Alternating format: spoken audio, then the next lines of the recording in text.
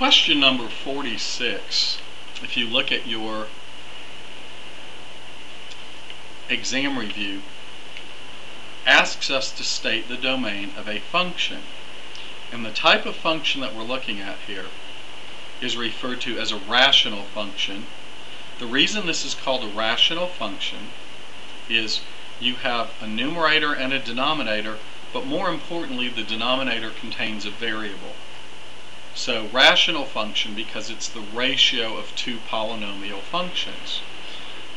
Your key here, when you're asked to find the domain of a rational function, your eyes should turn your attention immediately to the denominator. In this particular problem, what we have in the numerator is really not of consequence. The numerator can become anything that we want it to become. That's not going to cause a problem. The problem here is going to occur if the denominator should become 0. So come with me to the paper. Let's go down to the paper and let's look at our function we have the rational function f of x is equal to x plus 2 on the top, 15 minus 3x on the bottom.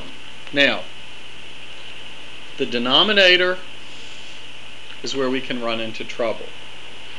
This problem is pretty simple. If I asked you what would make this denominator become 0, even without factoring, you should be able to see that 5 would cause trouble. So in this particular denominator, in fact, for this problem in general, the denominator would become 0 if x was 5. Well, we can't let that happen. Remember, in arithmetic, you can't divide by 0. You can't let the denominator of a fraction become 0. So in this problem, we have trouble. We have a trouble spot at the number 5. So, the way we write that in algebra, x cannot equal 5. Now, I want you to notice something. Some students will look at this problem and look in the numerator and say, uh-oh, we can't let x be negative 2 either because that would cause the numerator to become 0. That's not a problem. If the numerator of a fraction is 0, we're okay. The denominator of a fraction can't be 0. So our trouble spot here is the number 5. So basically to answer this question, the domain here, what the domain is what you can use, what you're allowed to put in. The domain in this particular function could be any real number you want to use as long as you promise not to use 5.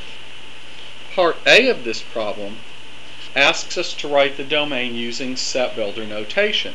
So the way we're going to write it is this the set of all x's such that x cannot equal 5. And in English, the way you read this is x can be any real number as long as you promise not to let it equal 5. So this is really the set of all real numbers except 5. And remember, this notation is called set builder notation.